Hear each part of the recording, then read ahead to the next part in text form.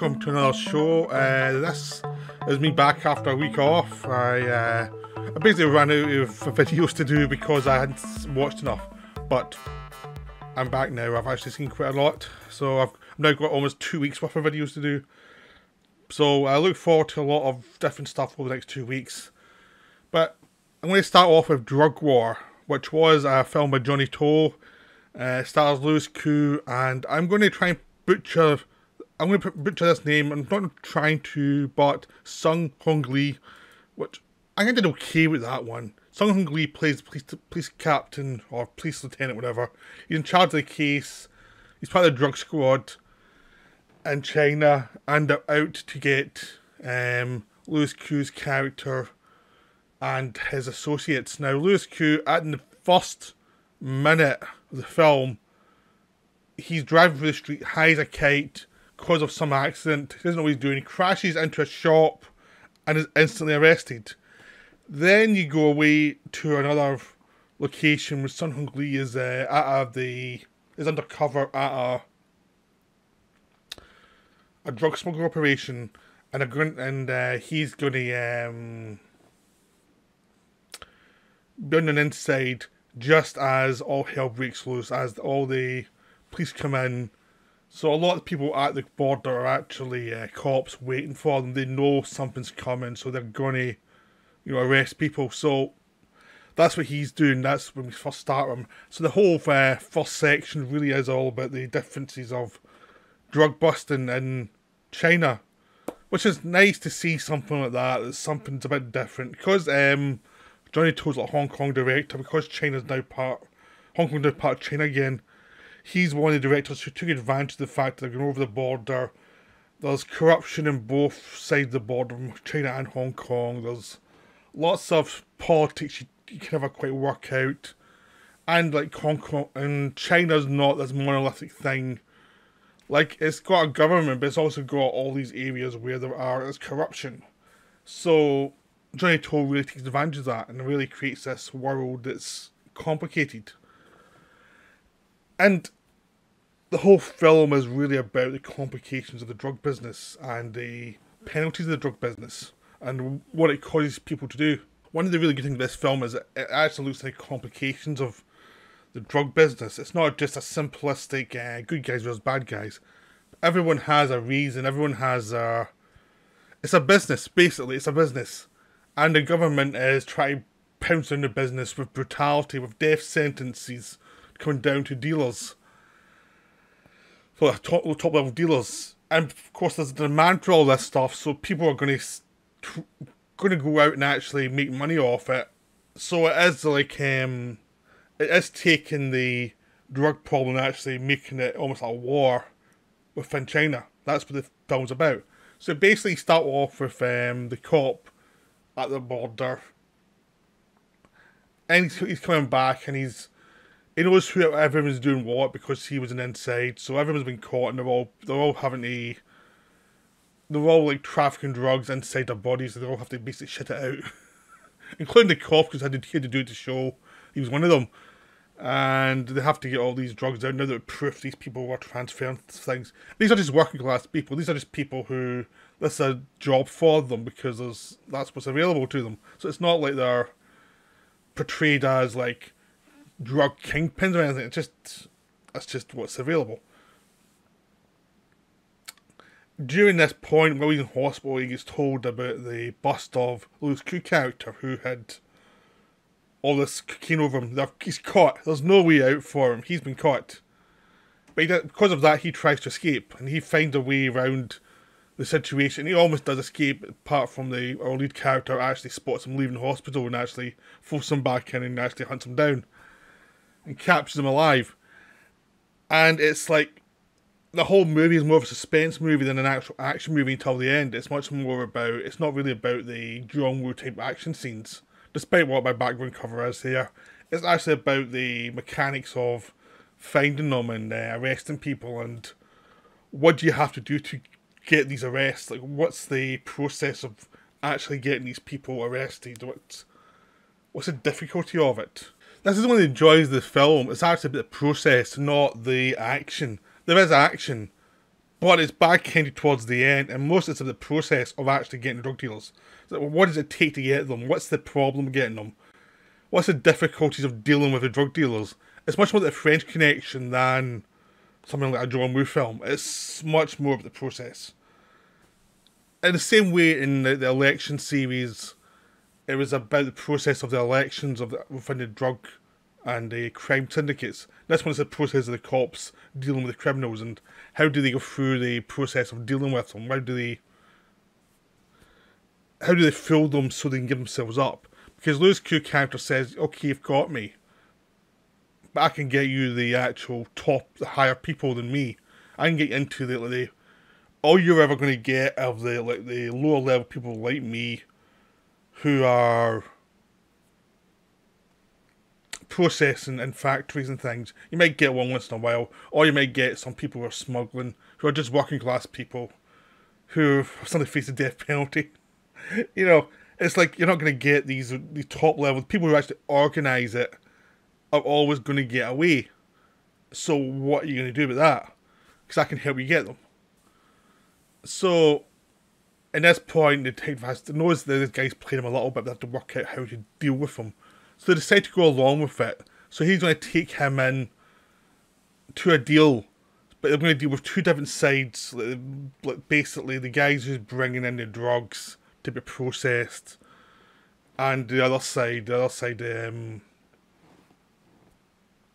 of the manufacturers and the distributors, and two people are going to have to meet up and arrange a deal, and he has to, basically, cop and Louis Koo character have to go to both meetings and act as if they are the other person. So these two people don't actually meet. So they've proven everybody that way that they get a central character, and, the cop character can get a bust, and the other character can get a get a deal so he doesn't get killed. He's just trying to avoid dying. And through this process, he takes the cops to his factory, and at this point, he's actually introducing them as basically new people, new contacts, and his own people don't realize he's just sold them out. And he's taking them to like the drug distributors and the drug, the people who who can manufacture and distribute the drugs all over the place, and they don't know what's going on. And even as they're going further up, he's basically saying, "Look, this guy is nothing. This guy is this is this spokesperson. He's not the power the guy you're trying to arrest isn't the power. You know, there's a whole family, and me could be said, my whole family is the people who do it. I'm a minor person in this organisation. This person you're trying to bust, you bust him, they replace him with someone else, doesn't matter. It literally does not matter. And at this point, they have to decide do they do they get the bust they've got or do they go further up and try and get the next level? That's as far as I'm going to go with the plot in this film. That's I'm, I'm pretty much giving you the first like half of it really, because that's the kind of what you're finding you you get in basically the trailer, and there's like these are decisions you have to make.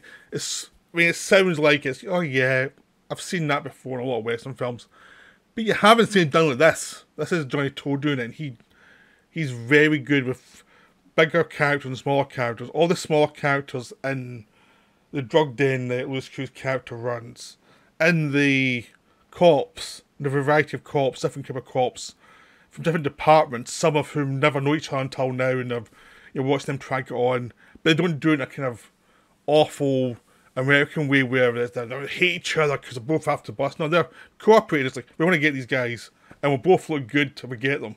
And it's like, well, who cares who gets the final thing, everyone's going to come out okay. There's no false drama in there that is just annoying.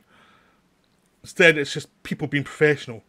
And that's what's really good, is the cops are really good at their job. They're really professional. Um, our lead character cop can fit in with different um, crime people and talk to them and they will not know he's a cop. He does not project himself as a cop. He looks scruffy. He looks just odd. You know, and he'll go as far as he has to to actually get this bust. I mean, at one point he has to take part of the um, substance to some of the drugs to show that he's not a cop. and he does it. He almost dies because of it, but he does it. Again, it's like just how far he's going to push, and all the other cops are really push as well. They are so much into this idea that these people have to be stopped. And then when you get over to Louis Koo's character, he's much more mysterious. He does seem ready to sell his own people down the river, but he does also seem to genuinely like them. It's like he gets on fine with them. And the more you see his side of the story, the more you get into his story, his family, how they run the drug business, and the mechanics of it all, it's fascinating too because it's like it's not like oh shock horror. It's much more like what you'd get in the the seventies um Battle for Honor films where basically it's like this is what they do. This is it. This is a job. They're not like massive. Some of them are egotistical, but other ones are just common sense about it. It's like it's a job. It's just like this is a product. We provide it. It's almost like Christopher Walken saying he's a businessman end of King New York. It's that kind of mentality. It's like like uh, people want this. It's not our fault that the laws are weird. You know, that's their point of view. So if they want and they can't get it, we'll provide a way to get it to them. And we'll make a lot of money at the same time. And you've got some of them who use the product, some of them who won't. And the whole big thing is Louis Koo character is what's he about? What's he trying to do? Because you're never quite sure. Because he's always he's always reacting to the what's going on. Because even though he can set things in motion, people will react in ways that he did not expect, where the cop didn't expect, which will make his plans go um, south pretty quickly. So he's always having to react to that, and the cops are trying to react to that. So you try to work out what he's about, you try to work out what the cops are about, but the cops do feel more solid. Like you kind of know what they're about, it's like how far they're going to go, and you know it's pretty far. but it's really enjoyable to watch. It's just this sense of professionalism, but they're kind of maniacs for this thing. It's like we have to solve this problem. No matter what, we're going to solve this problem, and they're kind of like addicted to solving the problem. So this is a wonderful film. Just it's a perfect example of a really great um, cops versus drug dealers thing. It's that kind of it's a similar sense to what you have. It's not the same as a wire, but it's that similar sense of the complexity of the situation is more. It's not just good guys versus guys in a big um, palace or something like Scarface. It's like working class people tied into this drug war that has a lot more victims than anything else, and it's a terrible situation the, to me, the film does go off at the end a little bit when it goes into action mode. I don't. Th- I think it goes. To me, I'm trying not to get away, but I think it goes a bit too cynical, and a bit too bloodthirsty, and it could have done with like half the dead bodies, and it would be much more affecting. I think it goes too far at the end, but it's till then it's really good. It's really solid. It delivers constantly. The way that Johnny Totes Pete can, he's just such a good director. He knows how to let the actors go and let the actors dominate a scene and not get in the way. And then when it's his time to take over with that with the suspense and action, he can really deliver. The mood's terrific throughout. Everything seems in the right place. It's just at the end, it does feel he goes too far. It almost feels like he's been. Uh, I'm not sure it's a commercial thing, but it feels like he never he lost a bit of control over his own. Like the mania of that was under the surface in the film seems to explode out, and I think don't get really works as well as something like the election movies, which have much more nuanced endings that I think deliver more. And, you know, and even when he goes about over the top and ending like Exiled, it seems to work better for the film because it's a, it's a more operatic film in the first place. This one, it feels it goes from being like an election movie to being an Exiled movie. and it jumps over, and I don't think it was set up to jump over. But it's still a terrific film when you find out the motivation of the Louis Koo character is quite enjoyable because you actually do see um, it's not what you expect, but it's been set up so much you actually realize you should have expected it. So um, it is a wonderful film. It's really well acted. It's really well directed. The writing's terrific. It's one of those ones is like you could have done a whole series of movies and some of these characters. These were really interesting characters. You could have extended it towards more than one movie but that didn't happen. But it's still a wonderful film. I highly recommend it. Just go try and see it. I mean, it's available in physical media. I think it's available on uh, streaming as well.